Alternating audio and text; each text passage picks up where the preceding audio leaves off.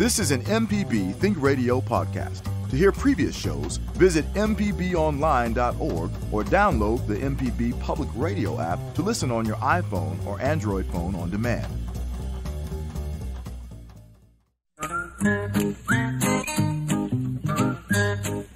Okie dokie, folks, welcome back. Horticulture's Felder Rushing and Java. It's great to be back in air conditioning without rain and lightning and thunder and get my truck stuck and all that stuff. so, for the past, uh, what, four or five weeks, we've been on the road, Java. Man, I mean, we did it all too, every corner of the state. Yeah, like I said, we we crisscrossed and double back some places, and um, it was fun. It was it was fun to get out and see the people. Yeah, but uh, here in the studio, it's air conditioning, and we're not getting stuck. We don't have lightning going sideways under the pavilion, or getting stuck in the mud, or uh, swatting off the flies. Yeah, and know. I'm and I'm having a, not having a tote Granny's concrete chicken around, which. Uh, it's becoming one of my signatures. My pickup truck with a garden in the back and Granny's old concrete chicken. They say they say a lot about me. I'll grow anything anywhere, and I will accessorize shamelessly, as long as we get the idea across that gardening is supposed to be fun. I think one of the hidden gems were, and I guess I, maybe I shouldn't say it, but it happened a lot. People were taking cuttings and things off of your garden truck. That's right. And I spreading the joy, man. There you go. And I tell you one other thing, and I'm gonna go ahead and say this: people came up, they didn't want to talk to me, they wanted to talk to Java. Come on. Well, they've they've seen you before. You you give talks. I mean, you know, before COVID and pandemic, you gave talks and everything, and I'm just the guy in the studio. Well, so that's we, all. We did have a good time, and we need to do this a little bit more often. MPB taking it to the folks. Uh, anyway, we're going to talk about gardening today. I've got some things to chat about here, and some a couple of things to brag about, which I really shouldn't. But all gardeners have that little bit of braggadocio in us. And um, but if you've got some things to talk about, give us a call. It's toll free one eight seven seven MPB ring. Promise not to try to sell you anything. We can start out right off the bat with Melanie down in Mobile County, Alabama. Hey, Mo- uh, Melanie, howdy. Mobile, Mobile, Melanie. Right. I, am not used to talking to a microphone. It's been like five weeks, six weeks. There you go. Well, it's time to get figure out those buttons again. Oh Lord, thank you. What's going on, lady? Well, I love to grow petunias, but they always get so leggy. So what am I doing wrong? I mean, they keep blooming a lot of times, but then there's this big bare, ugly spot in the middle of the plant. You know what I'm yeah, saying? Yeah, yeah, I do. Uh, a couple of things. First of all, keep in mind that they're native to the Andes, and they like cool weather. They don't like hot, hot weather or freezes. They'll tolerate them both, but they do best in the spring or the fall when it's kind of cool. Okay. Um, and what happens is, is they're almost like vines. You know, they grow at the ends of what grew last week. Uh, so one thing you can do is every now and then just cut one of the stems back to a few inches long and make it bush out, branch out to sort of fill in the middle. That's one thing. Uh, another thing is use it as sort of like a skirt for some other flower that grows a little bit taller, that's you know complementary color or something like that. Right, right. I, I I thought probably I just wasn't cutting them back enough. Okay, one other question. I grew. Um, sweet snap snap peas in the spring? Me too. I grew more than I could eat. And I and I hate to say this, but I'm a black eyed pea kind of guy. I made I planted three different kinds of the English type peas, the sugar snap and the the you know those kind of peas, uh-huh. and they got I couldn't eat them fast enough. I even had some frozen. Well, we managed to eat all of ours. I only planted one little package, and I told my husband, I said, next year I'll, because I don't have a garden like a row garden. I just have a patch. Me too. Me too. Flower. But anyway, they look bad now. I I think they're finished, right? I yeah. mean, they they're still blooming, but I just feel like they're, they're not. They're gonna, they're gonna start petering out again. These are you know uh, these kind of things and potatoes and pansies grow all summer long in England. In Mississippi, right. they won't take the heat, but they don't like hard freezes. So we just sort of try to grow them as best we can in the fall. Hopefully, get them through the winter, and then hope for a great spring thing. Then they peter out. You plant them in the fall, they grow all winter? No, uh, well, you know, they won't take a hard freeze. You know, I just planted mine before we got that 10 degrees in Jackson.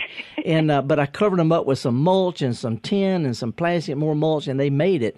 Uh, but the plants themselves, they'll take a light freeze. But okay. let's just say they prefer a long, cool growing season, which okay. which you don't have in Mobile. Well, so you, your, I, your best bet is February. January, I think, or February. Yeah, that's that's so, best. You know, it's just, they, they just, did great. I, yeah. I was really pleased. I don't normally try to grow food because we don't have enough sun. Really, You, you don't, trees. yeah. But in the wintertime, you get sunshine because trees drop the leaves. So anyway, that's that's Right. that's the thing is they, you know, if you plant them in the fall and down in Mobile, oh, we we have more problem with insects in the fall.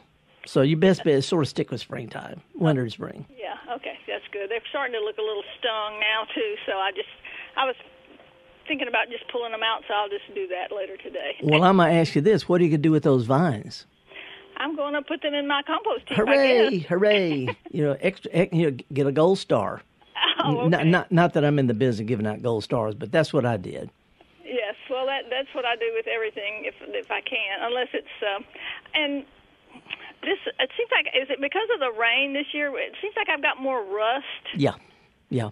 A lot of a lot of fungi and rust and bacteria. They splash around, you know, in rains, and if the leaves stay wet and you know cool and wet, the, the, the those develop into diseases. It's real real common in a wet year. Yeah, I thought that's probably what was going on. So Yeah. I just pulled up some stuff and broke off the limbs or whatever to try to get you know minimize it. All right, well, you have a great day. Thank, you. Appreciate it. Bye bye. Whew, it's good to be back in the saddle again. Let's slide from the Gulf Coast all the way up to Memphis, Tennessee. Hey, Toby. Good morning, sir. Good morning. What's up? Is this Toby? It is. Is it with an IE or a Y? Why? Okay. Good morning. Do I? What's up? Hey, I, my hostas are beautiful. They're doing fabulous. It's been a gr- it's been a but gr- they're already going into bloom. Should Yeah. I cut those blooms? No, heck no. You know, growing for the leaves and the flower. I mean, you can cut them off if you want to, if you're growing just for leaves. But and some of them have, have are grown for their flowers. They've got gr- big, really big, pretty flowers, but th their flowers don't. They may slow down some new leaf production, but it's not that big a deal. I'd say I'd say enjoy. Take a picture of it is what I'd do. Okay. Well, sometimes people say cut them all the way down around July and let them start regrowing. Is is that a Well, here's here- possibility? Here's the thing, you know, the Hosta Society is a northern society. They grow better in Canada than they do in Memphis, although there are some gorgeous, gorgeous hostas. The, the Hosta Society in Memphis has got an unbelievable displays. Uh, matter of fact, I think I'm, I'm scheduled, you know, COVID put it off twice, but I think that this, this fall I'm giving a talk to the Memphis Hosta Society. I think this is going to work. But uh, in, in general, if you if you'll spoon feed them a little bit of fertilizer every now and then, not a lot, just a little bit to sort of tease them along, and water them really, really well every week or two. You know, they don't like being kept wet because your slugs are going to uh, take them over. But a little fertilizer. Two or three times from spring to, to late summer, and an occasional good soaking, and they'll do great. Great, great. I think they're so beautiful. They're so, and I planted some.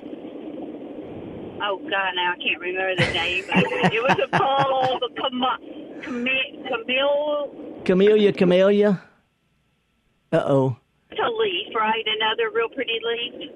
Yeah, I, so the the name of the plant cut out. What was it again? I knew the name of it just a minute ago. Call call back, Toby. Okay, all right. Thank you. Bye. Thank you. I You- enjoyed your show. Make sure you say when you're coming to Memphis because I'll be there. Okay, appreciate it. And uh, and Java, she shouldn't say make sure because we've been every we need to come up with a song about you know I've been Pascagoula, you know all these places. I thought Southaven was Memphis. We were up there. well, yeah, the, the Southaven people don't want to say it, but they are. They are. We had a good time. It was raining too, but uh, and by the way, Java, I got to throw this out. Uh, it was said, you know, this was partly this is this tour was sponsored by the Mississippi Public Broadcasting Foundation. yes. You know, to, to, to generate interest, maybe get some members, you know, create awareness and all. It was suggested as a fundraiser that we raffle off the opportunity to, to wash my coffee cup. Wait a minute. I was I wasn't in that meeting. no, no, no. This was this was suggested by a faithful listener. Why, why, don't- why don't y'all try to raise money by washing that co- explit, expletive coffee cup of yours? and I'm thinking maybe I should out raffle them for the right to not wash it. No, we'll run. We will run some numbers up on that raffle. That and Granny's chicken. Anyway, let's uh let's let's talk to uh, Tom calling from Oxford. What's up in Lafayette County? Well, I have uh, two dogwood trees that um, I had a landscaper plant two of them two years ago, Uh-huh. and they died, and he came back and planted uh, two more last fall. And they're good and healthy in the lower two thirds, and they're dead on the top third. Yeah, yeah, this is tough. Well, they were well, they, they were container grown, I, I guess, grown in pots. Yeah, I think Yeah. so. Mhm. Yeah. Here's the deal with with dogwoods. They are one of our most gorgeous native plants. They're just they're drop dead gorgeous. But the my, my friend Steve Bender with Southern Living says of of every three that are planted this year, only one's going to be alive in five years. They are one of the most notorious difficulty to get established. And there's a couple of reasons that. One is we almost always plant big ones because we want instant gratification. And they have a hard time because they don't have a real vigorous root system. So they have a lot of top stuff and not enough roots to support it when it gets hot or if they stay wet, which overwhelms the roots. Those kind of combinations can push a, a, a plant over the edge. Dogwoods are more sensitive to that. So keeping it way, way too wet is uh, number one issue uh, that because they don't grow in wet soils. They grow on hills in the woods all around Lafayette County. You never see them down in bottomlands. The only time you see them out in the open is when people make them grow there. So it's a habitat thing. You know, they like moist soil that dries out a little bit between soakings. They don't like a lot of sunshine, but they'll tolerate it once they get established. Um, but one of the most important things, Tom, and this is really, really weird. It sounds like one of those woohoo type of things I see so much of. But there is this stuff in, in dirt called mycorrhizae. I, I'm not one of these, you got to add this stuff to your soul. But dogwoods in the woods, every root has got this, it's sort of like a fungus that grows on around roots and it multiplies the root's ability to absorb stuff by up to 200%. That's a natural thing. And potting soil doesn't have it. So what I suggest is anytime people plant a dogwood, first of all, plant the smallest ones you can because they have a much, much better survival. But second of all, find a dogwood that's looking really good and dig up some of the shallow dirt that's beneath them and mix it in with your dirt to inoculate it with this stuff that your potting soil and your regular dirt doesn't have. It, it, this is a real thing. It's not one of those. I'm not a space age type of you got to do this and that type of. This is a real, real plant physiological thing. So get you some dogwood. Anyway, as far as the top part buying, uh, if your landscaper gave a guarantee, you know, bless his heart, he shouldn't have done that. Uh, but about all you can do is is just it's not going to hurt to leave dead stuff for a while. But if it doesn't come back out, just cut it off, and and uh, you may have a a kind of a weird bonsai type of tree, but let's just call it characterful, because there's not much you can do about that. cut Cut out the the dead stuff. What's that? You can cut off the top, but doesn't it grow from the? They grow from the top, right? Well, no, you you can cut a dogwood back like you, like you do a rose and it'll sprout back out. You know, just you know, you can do an oak tree. You've seen how people cut crepe myrtles back and they spring out. Well, dogwoods will do the Yeah. same thing, but uh, it, it it won't have that that classic dogwood shape. But most old dogwoods are characterful. They'll have dead, you know, they- they're weird shaped anyway. So anyway, it's either go with that or switch over to a different tree. And by the way, there's a type of dogwood called kousa. Starts with a K, K O U S A. Kousa dogwood. It looks just like our dogwoods, but it's from China, and it has bigger flowers, bigger leaves. It's a prettier, pretty plant. And if you can find one, uh, they, they, there's a whole lot of variety. They're a lot more durable than our wonderful native uh, southern uh, southern dogwood. And where would you find those? No idea. You know, there used to be a fellow up in Memphis uh, named Plato Touliatos, and he sold all sorts of stuff like that. But Kousa is widely planted everywhere except for some reason around here because garden centers don't carry it because people don't ask for it. But it is a real durable plant. And also, you uh, well, you know, there's there's alternatives. What I'm saying to to, to the dogwoods. Uh huh. But it sounds like a, a root issue. Um, too wet, maybe. Too small a root Yeah, they were they were planted in the fall, and then you know we had that horrible cold spell during the winter. I don't know if no, that no, no, no. Do- on it or do- not, these these always grow up in the New Hampshire. They can take the cold, but anyway, uh, they're Okay. they're notoriously difficult. They're recognized by horticulturists across the South as one of the most difficult plants to get established, even though it's one of the most popular. Okay, well, thank you so much. I appreciate it, and I love uh-huh. your show. Appreciate. Hey, thanks for being part of it. Woo, we're getting back in the saddle here, Java. Just kicking around some ideas. Going to take a little bit of a break, couple of minutes or so, talking about yards and gardens and stuff like that. Talking about getting back in the saddle, I have to remember how to push all these buttons. I've, I've had a different set of buttons out on the road, so I got to get back into these buttons here in the studio. There you go. And speaking of which, you know, I always bring a, a, an heirloom, an antique, and a native plant, and I got some good ones to talk about, especially the the edible one. So we're going to take a quick break and come back with more of the Gestalt Gardener. Hey, well, we got some lines open, so you'll give us a call. toll free 1 877 MPB ring. We're going to be back right after this.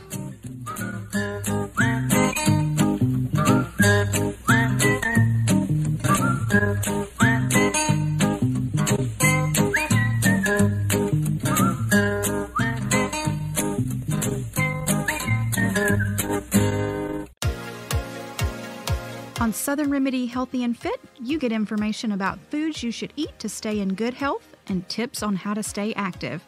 I'm Dr. Josie Bidwell, host of Southern Remedy Healthy and Fit, and Associate Professor of Preventive Medicine at the University of Mississippi Medical Center. Listen to the show every Monday at 11 or subscribe to the podcast by searching for Southern Remedy with your preferred podcasting app.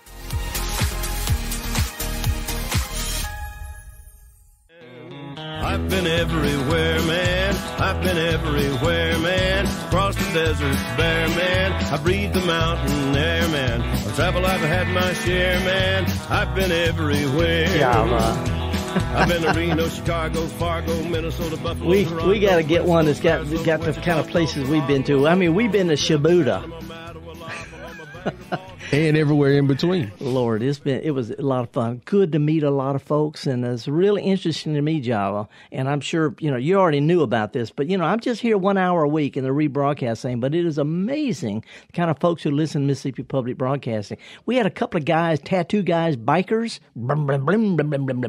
We love your show, man. Uh, we had a, a, guy who drives a log truck. Shout out to him. He's he's hauling logs from South Mississippi up to Meridian area. Shout out to to, to truck drivers and uh, kids. It's just it was just a lot of fun. And I still have to give a, a, special shout out to those people at the Pascagoula Beach Park because they were the first. They were the first, and they went through the most. it was lightning. I mean, it was lightning and thunder at the same time, and it was chucking it down. But we, but we had fun. We, we had we, fun. You know, we were all huddled together with our umbrellas against the wind. So anyway, it was a lot of fun. Hey, let's uh let's go up. Let's talk to Donna. She down at Moss Point. What's up, Donna? We were that's just real close to Pascagoula. Yes, I was at that thunder event. You were okay, okay. So, so me and Java aren't just exaggerating, are we? No, you are not exaggerating. I had to swim out. we appreciate it. Well, what's going on today? I've got a friend, and she's had uh, a nice size ponytail palm that died back this winter, and I mean the center of it absolutely died away, and now it must have 20 little sprouts coming out of the bulb. And we're wondering, can we, is there any way to separate them or, or do we just let it grow? Okay, now, Don, did you say sago or ponytail palm? Ponytail. Yeah. You know, and, and that's not really a palm, by the way. It's just called that because it looks like that. But yeah, you can pull them apart, you know, as long as you get a little piece of root with each one. You know, okay. It, uh, a lot of times though they branch out. So you know, you can. I've seen them that are so big. I mean, they're probably four feet across at the base, huge ones down in Florida and out in California where it doesn't freeze. Uh, and you can actually prune them back. See, so they're not really palms, but uh, the little things that come around the base. If you know, peel one or two off, and if you can get a little piece of root, that's fine. Otherwise, see if you can root it in some some not wet but moist potting soil. Okay. Well, we've got like she's got like 20 of them to experiment with. So and these, we'll these give are, it our best shot. Now wait, these are ponytail palms, the ones that have the big base, the big, big, right. Big, and it's actually coming out of the, you know, the bulb, if you will. Yeah, that, well, that's a trunk. Basically, it's a yeah. lower trunk, and uh, you know, I, I think you're probably growing from cuttings. It's not really a palm, so you know that's worth a try. But otherwise, if nothing else, you ought to thin them out so there's just two or three left. Uh, you know, so it doesn't look too too goofy. She was going to take pictures and send you an email. Do that. But I've cut her off the path. wait, wait, wait. That pass is on the other side of the state. You're right. Thanks, Don. Appreciate it. Sure thing. Mm, bye bye. All righty. And uh, it it could not have been more coincidental, Java. We just talked about Pascagoula just as we were talking about it. She was called. She was at that meeting. Yeah, that's what I mean. I mean, It- we didn't plan that. and it was only a hand. To see, that's the thing that makes it so special. She was one of a handful. Yeah. and you know they would they would have tried and true. yeah, yeah. So anyway, let, us go now uh, to Byhalia and talk with David. What's up? Hey, David. Hey. Yeah, um, you were talking about the. Somebody called in about the boring bees uh, about a week or so ago. I think you were on one of your live shows. Mm-hmm. And uh, one of the things that, uh, I mean, I did all kinds of things to try to get rid of them and, and try to discourage them. I even went out one night and and and filled all their holes with silicone. Bless their hearts. well, they were eating up my my shop. So anyway, uh, one of my customers told me when I was out there that they had heard that uh, loud they don't like loud music, Huh. and uh, and so uh, he in his barn he played rock and roll music. So I I've got a little stereo that I put up about three years ago.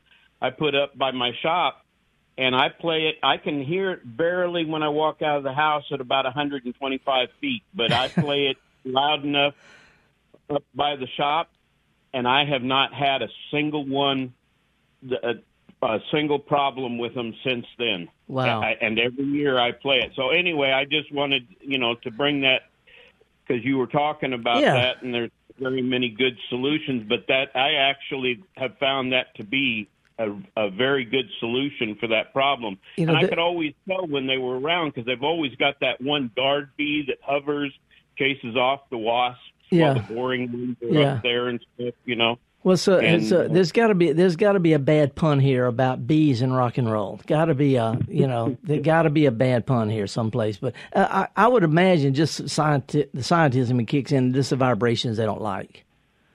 I, I'm thinking that that's what it is. Yeah. It just you know it doesn't have to be rock and roll, but uh, you know uh, whatever loud. You know they just don't like loud noises. Yeah. Huh. I, I, I must be a was gonna vibration. ask Anyway, hey, if if nothing else, it's a, it's a good excuse to play the kind of stuff you like to play as loud as you want to. Uh, Very yes, and like you said, I didn't know until you told said the other day that uh, uh, they're only in the you know until like June. So I've been playing it all summer long, and now I know that I don't have to have to do that. Well, but if if there's a significant other around there, he or she doesn't need to know this. You know, you can still play stuff and just keep it going. I won't rat you out on this. well, she just walked by when you said that. So. Oops. See you, sweetheart. Anyway, uh, anyway uh, I wanted to ask you about cockaburs. Yeah. Uh, is there a good way to get to? Is there something I can spray on them that won't kill the grass but will kill them? Well, oh, you talking about stickers? What what Yes. pe- the little ferny looking things that stick in the in your in your dog's feet? And my feet. Yeah, yeah. When I go barefoot. Okay. well, the the best control for you is called flip flops. They work. Uh, two two Yeah. things. This is a this is a very very uh, pers- you know it's a it's a popular question because we have a lot of problems. What do they call it? Burrweed or stickers or or whatever.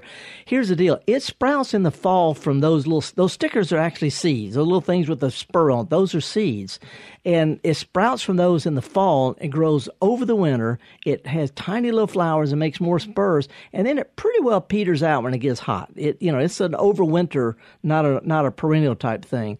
Um, and where we see them, they're the symptom to me that you got a real thin lawn because they don't grow in lush grass. You know they they need to have sunshine and that kind of stuff. So in the long run, your best bet is to just fertilize your grass raise your mower. The thicker your grass is, the fewer problems you're going to have with it. Uh, but if you want to spray them, they're most susceptible to the sprays when they're young and actively growing. We're talking about late December, January, February. They're really sus- susceptible to whatever kills dandelions will kill these.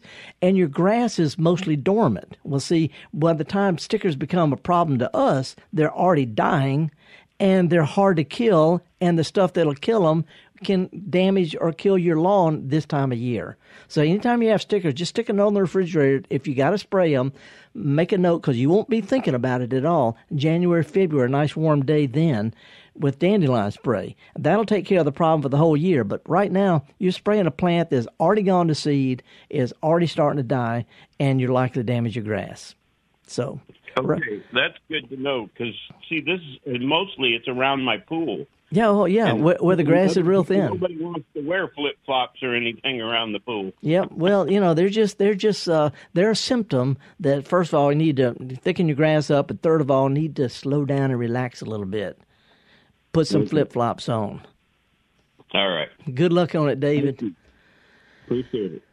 All righty. Uh, by the way, um, Lisa in our our our Foundation, yeah, MPB Foundation. Yeah, she handed me a cartoon, an Arlo and Janis cartoon. You ever see this in the paper? Uh, sometimes. Yes, uh, Arlo. He's always getting in trouble with his wife Janis and their kids and all that. Anyway, he's from Mississippi. He lives out on the coast, but he he was with the Clarion Ledger for a long time. The guy that that uh, that that did the thing. His uh, his name was uh, uh, Jimmy Johnson. Anyway, today's has got to be from listening to this program. Wait a come. Wait a you got to be. First of all, you know he's Mississippi. Okay. And uh, and is always gardening, but stuff. Uh, what it's, it it says, Narcissus is a genus of flower that includes hundreds of species that grow from a bulb. Any member is considered a narcissus. Okay, this is the comic strip. Second one is daffodil. Simply is a common name for narcissus. If it's a narcissus, it is a daffodil. Third is that spring flower you're thinking of is a narcissus jonquilla. Buttercup is not a narcissus at all. But the last thing was show Janis out there just look down and smiling, saying, But here's the most important thing to remember just smile, just enjoy. And you know, I'm always talking about narcissus versus jonquils uh, versus daffodils. I'm going to take credit for inspiring this one. And I don't think anybody would would have any objection.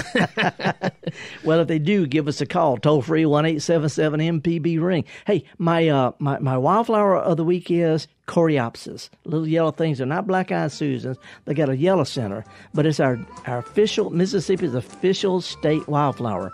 Uh, Coreopsis. There's a whole bunch of different kinds. But right now, they're they're nice and big and pretty along the roadside, as pretty as anything I've seen anywhere. So Coreopsis is our state wildflower. Plant it from seed in the fall. They bloom in the spring. You got problem stickers? Plant Coreopsis. There we go. That's my solution. We're going to take a quick break. I've got a uh, an heirloom plant. I've got an edible plant to talk about, but we got a little little relaxing tune. Going to slow the pace down a little bit. Just chill, shake it out, relax, get a cup of coffee. We'll be back with more of the Gestalt Gardener, me and Java, and all the other folks here at MPB right after this.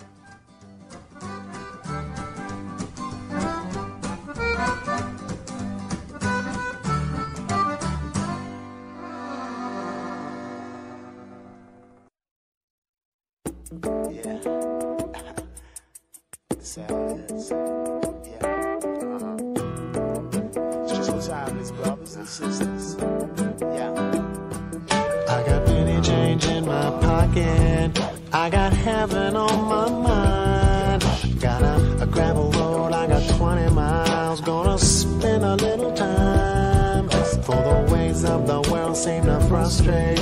Always stealing food off of the next plate. Only hate is a fate and it's too late. All we get is a crumb from the big cake. So I'll stop, slow down, watch the sun go down.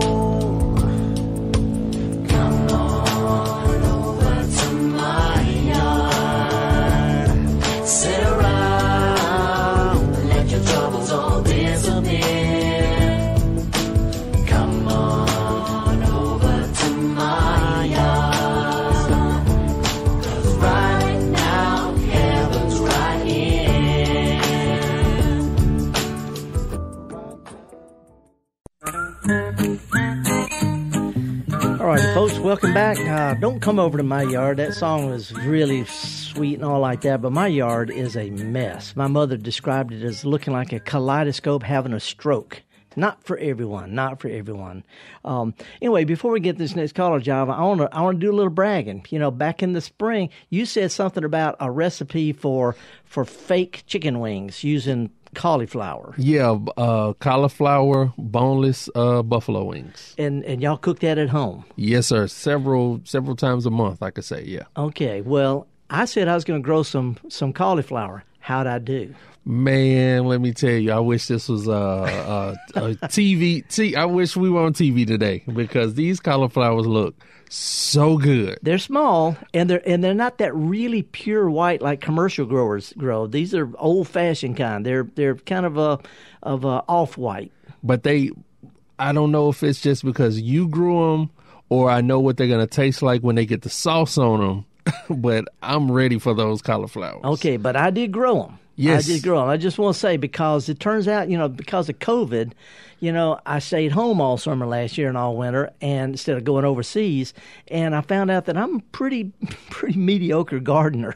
You know, I'm a garden expert. When it comes to actually talking, you know, walking the walk, I was having a hard time. So anyway, I planted these things back right after that hard freeze, and I covered them with insect netting to keep the, the worms and stuff off. And those are those are my keys. Planted early, kept the bugs off of them. And another thing too, you say they're kind of. Uh, I mean, I know they are not the same as the ones in the store, but this is where you get into. I know you grew these in your yard, or if you know if you go to the farmers market, you Yeah. can talk to the grower, and that was you know in the store they're commercially grown, so they may have some little things done to them to to make them nice and white. Well, the what makes these extra special because they had me staring at them every day, saying, "Please make it, please make it, please grow, please grow." So anyway, I got some more. That's just some I, I picked this morning for you.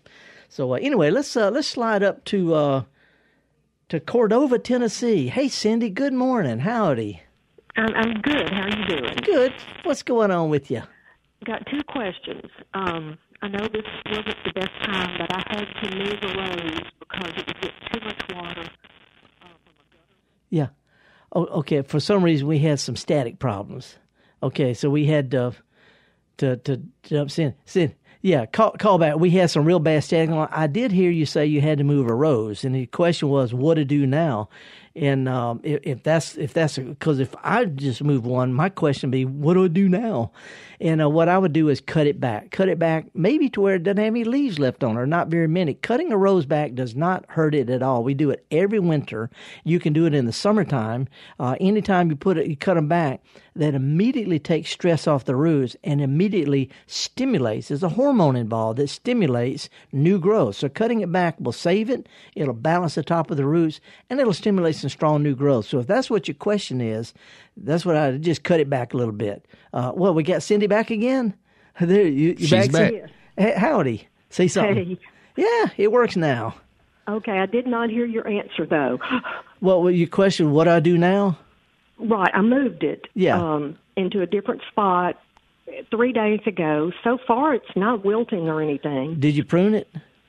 Um, I pruned it back about halfway. That that should be enough. The main thing is is take some of the work because you left a lot of roots behind at a Right. crucial time, and pruning it back takes the stress off the roots and it stimulates some new growth. So you know you can cut it back. You can cut it back even more, but the main thing is is is is if you got a lot of a lot of branches and stuff, you might actually want to thin some of those out so that when it does put out new growth, it doesn't overwhelm the smaller root system. Main thing is Do I you know. need- Yeah, Okay, just just just thin it out a little bit.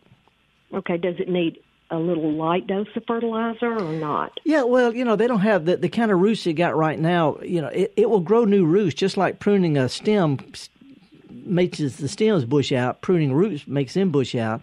Uh, but, you know, you might want to wait a, a, week or two. But it's not that. If you got some, if it's granular fertilizer, go ahead and scatter it around it because it takes a, a few days or a week or two for it to really kick in anyway.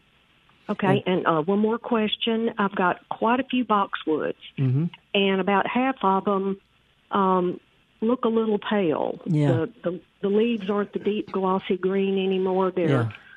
Kind of pale and a little bit of lighter green spots on them. Yeah. Uh, here's, you know, th- there is a serious new disease. I don't know if the yours have it called boxwood blight. It's a serious thing. It's going through all the, the antebellum uh, places, all the historic, you know, the Revolutionary War, all the historic gardens across the South have trouble with boxwood blight. Uh, but it usually just kills them.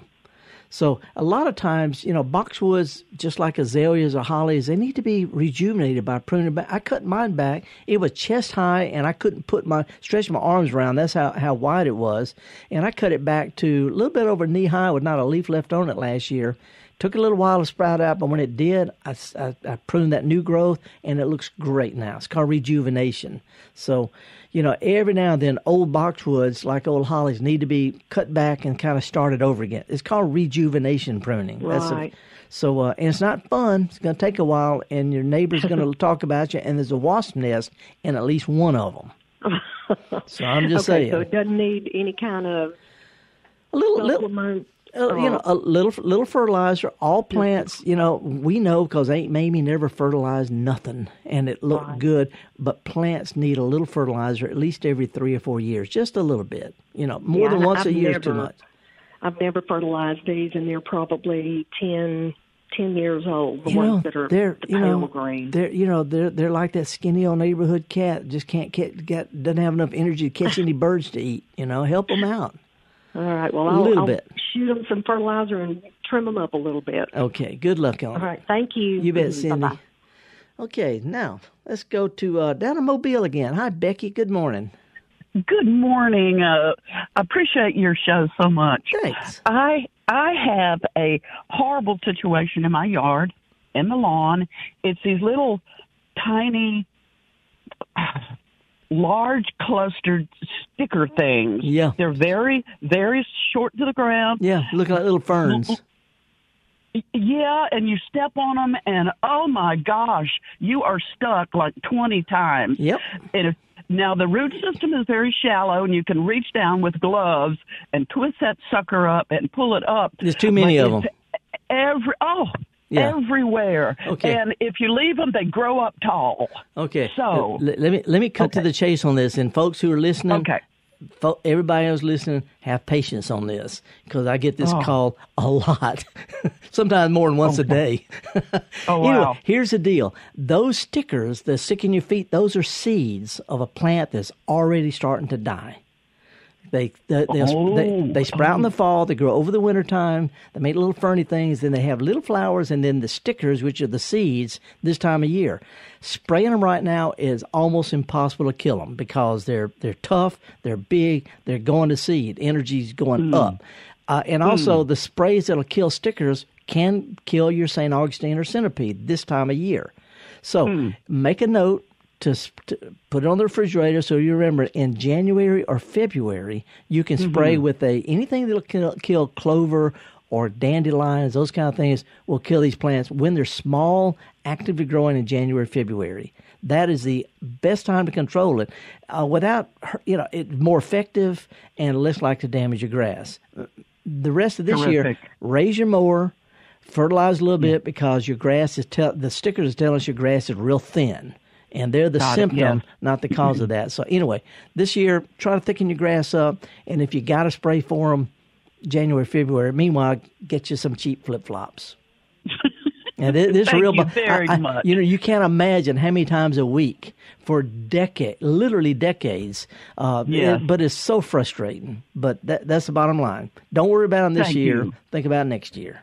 Great, great, awesome. Thank you. You bet. Java, you've heard that question a time or two. A To- time or two or to- three. today. okay, let's. Uh, let, did you say break or could we take another caller? No, let's let's uh, talk with. Uh, I think we have another Mobile call, John. John's calling from Mobile. We need to take this this show on the road to Mobile. Hey, John, what's up? Thank you. Good morning, Felder. Um, I had a question since we're just uh, about 10 days away from uh, hurricane season. when is the best time to, uh, like, cut back a tree? I've got a pecan tree, and it is really tall and leggy. And um, in, let's see, two years ago, it had the same kind of branches, and some of them just bent over like knee joints Yeah. and broke. Yeah. So, um, is this the wrong time to be doing that? And uh, same thing for shrubs, things like that. When Yeah. do you cut them back? Okay, that, that's a good question. Uh, but let me ask you, how old is this, is this pecan tree? At least 42 years old. Okay. It was a mature tree Okay, when okay. we moved in. Yeah, okay. Here's the deal. Keep in mind, first of all, I taught the tree surgery course at Mississippi State, and I was raised in Pecan Grove. They have weak wood to begin with, those narrow angles, real easy to split. I spent most of my youth dragging pecan limbs to the burn pile. So, that, so, that, so that that's normal for pecans.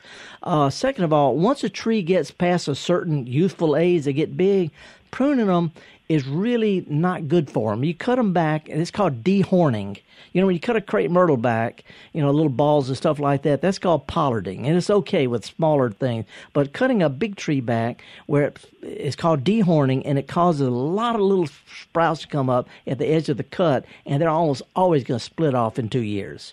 So, so cutting back big mature trees, not a recommended practice, not something that's practical to do and it's expensive, and the new growth is going to start falling anyway. So th- that's sort of a bottom line with pecan trees. I, and I don't have a trouble. I don't have any problem pruning stuff. I don't mind people pruning crepe myrtles. Doesn't matter. But pecan trees and oaks and stuff really it's it's difficult and expensive to cut them back, and it really doesn't help in the long run. And it actually causes some diseases. So I wouldn't recommend that. Um, would you recommend just removing the tree? Well, you know, let's let's give it a couple of weeks and see what the hurricanes do. but if it's close, pecan trees fall apart. They they have narrow angles, weak. It's called weak crotches, and it's like you can split your little finger off your hand better than you can your thumb. Well, pecans have nothing but little fingers all over the place. Can I ask another quick question about pecans? Yeah. After the hurricane, uh, Hurricane Sally last year, um, a number of pecan seedlings came up, and one of them is, uh, let's see, about seven eight feet farther away from the house. Uh-huh. Uh, the one I'm talking about is really kind of too close to the corner of the house. This one, in the same line, is about eight feet farther. Do you think I ought to see if I can uh, nurture that thing since it wants to grow? Yeah, you can, but keep, but you know, and it's going to be a problem somebody 40, 50 years from now. but here's here's what you can do. If you go by pecan groves all over South Alabama, you find pecan groves, and you notice that they all have a, a trunk, and then they branch out about chest high. All uh-huh. of them, because commercial growers always cut them off about chest high to make them branch out closer to the ground and uh, then they thin out those branches where there's only three or maybe four. Those will be the main trunks for the tree rest of the tree's life. So think about doing that. Okay. And uh, now, as far as shrubs, you can prune shrubs, azaleas, hollies, roses, crepe myrtles, anything. You could prune those as far back as you want in the, the, the wintertime, springtime, summertime, up until about the middle of August. If you cut them back really far, the further you cut them, the longer it takes for new growth to come out. And you need to, for that new growth to have time to come out, mature, and settle down before winter. So generally, no really hard pruning past about the middle of August or so. And then you you can neaten stuff up up until oh you know late September October. But again, fall pruning, new growth, likely get damaged in wintertime. So that's about it. The rule of thumb is prune spring stuff after it gets through blooming, prune summer stuff in the wintertime, and don't prune nothing past September. Good rules. Thank you. Okay, appreciate it. Oh, before we get into this call, let me talk about my heirloom plant. Oh, I did have another native plant when I was walking in this morning. I passed some smilax. People call it greenbrier. It'll eat you up, cat's claw. But the new growth, it's in the asparagus family. The new growth, tender stuff you can snap off, tastes like asparagus. It's actually in the asparagus family. So you foragers out there, when it comes to certain weeds, if you can't eat them, excuse me, you can't beat them, eat them. Now, Let's uh, talk to Sandra now. She's been holding from Florence. Hey, Sandra. Good morning. Well, good morning. Howdy. Howdy. I wanted to ask about um, fig trees. Mm-hmm. I uh, heard you say if you cut them back and you get a whole bunch of, um, Yeah, they bush out. they bush out, Uh-huh. and you cut some of those off. Yeah, what we want to do is we we want to to have you know uh, just a few trunks, and each trunk have a few limbs, and each limbs have a few branches. Because otherwise, get thick and cluttered. You can't pick them; they don't produce well. So kind of open them up a little bit, sort of like you Uh-huh. would a rose. You know, you don't want a real cluttered rose bush. So how many would I leave on each little branch? Each branch. What I do is I go by what direction they go to. If I got two pointing in the same direction, I just cut one or the other off. Doesn't really matter. Oh. So so I try to have where each each branch has sort of its own space, if that makes sense. I cut them where they're they're growing up and out, and not competing with each, not rubbing against each other, you know, one shade and the other. So that's all I do. Is, is you know, you just thin them out to leave the ones that are growing up and out, and they all got elbow room. So oh, right. the- the- that no- sounds good. It's a lot easier than counting. Um, yeah. Um, also, I dug one up under my fig tree and uh, planted it last week, week Mhm. before last. How big is it? And it looks dead. How big oh, is it was about two or three feet high. Yeah, if you're going to do that again, because you're leaving most of the roots behind, cut it back to about a foot and a half or two feet tall. And that way, it'll start and more likely to survive, and it won't have any leaves left on it, but it'll it, but it'll sprout back out and bush out, and and then you'll have those trunks that we need down the road. So I always cut them back to a foot and a half, two feet at the most. Okay. All righty. Thank you so much. Appreciate it. Uh, and I got to work in my heirloom real quick. I brought in a plant called Jewels of Opar. It's got big leaves, tiny, tiny little little pink flowers, and little tiny BB-sized balls of seeds that are orange and Jewels of Opar. It's a little. It's an old plant. Can't buy it anywhere, but it comes up everywhere. You just pull up all that come up and leave a few, and that's enough. The reason I like it because the name Opar, that's from the Oparians, who are the lost survivors of the lost continent of Atlantis, and it was named that by a guy named Edgar Rice Burroughs, who wrote a book called Tarzan and the Lost Jewels of Opar. So I'm just saying, one of those little 1918, uh, 200 year ago little oddball thing. You're speechless, aren't you, Java? Only you would know something like that. Jewels of Opar from the from Tarzan in the in the lost continent of Atlantis. Now let's go to um, who we go to next. Chico from Oxford. Hey Chico, good morning. Chico, Chico. I know you. I met you on the road. Chico. Yeah, you said I was wearing a hippie hat, and it was actually just a Green Bay Packers toboggan. That's right. And I also met the redhead. That the beautiful redheaded woman. Yeah, Java. You know, Chico came to a couple of our things. Yeah, Chico uh, stopped up what in Oxford and uh, uh, swung by Tupelo. So yeah. Yep. anyway, right. we're starting to run out of time though. Chico, what's up, man? Well, you know, come Monday, the good Lord willing, Bob Dylan is going to turn 80 years of age. Okay, you want us to do a you want us to do a tune from him? yeah, yeah. Well, you know, up there in Minnesota where he was born, the other world that Minnesota is, is where the Mississippi River starts. Yeah. And it got me to wondering, is there anything that's known to grow along the entire length of the Mississippi River, from up there where Bob Dylan was born Yeah. to down there in New Orleans where American music got started with some help from Mississippi? There you go. Yeah, there's also from pawpaws to to Goldenrod to But to, is there to anything sticker. that grows to- exclusively there? uh, all up and down the Mississippi River. Yeah. it's hard to be exclusive when you're talking about fifteen hundred miles. I know, I know. That's what got me wondering about Anyway, it. good question, but but we're man, we're out of time. We got we got one more thing, and but we will address that next week. I'll be listening. Appreciate it, Chico. Thanks. And we got time to go to the really the heart of the Delta, Lyon, Mississippi. Homer, what's going on? You know, Clarksdale is just a suburb of Lyon. There, there you go, Phil. What's Yeah. up?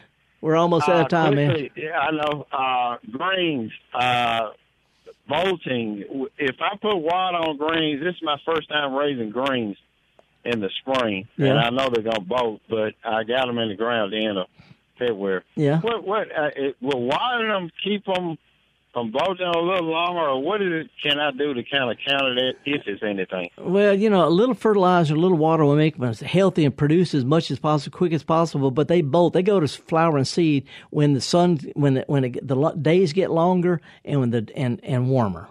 So the the length, you know, day length and temperature is what stimulate them to flower. Not much we can do about that. Not much we can do about it. Eat them as quick as you can, man. I guess I don't, he must be gone.